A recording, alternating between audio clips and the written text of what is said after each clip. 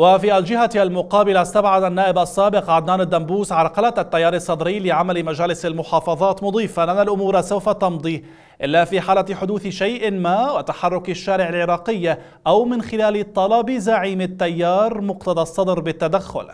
ومن جانب حذر سعد المطلبي عضو ائتلاف دولة القانون من تكرار تجربة مقاطعة المكون السني لانتخابات 2005 وما نجم عنها من خلل كبير بتوازن التمثيل في مؤسسات الدولة وأدى إلى الإحساس بالظلم والتهميش والاستبعاد ونتج عنه مشاكل كثيرة.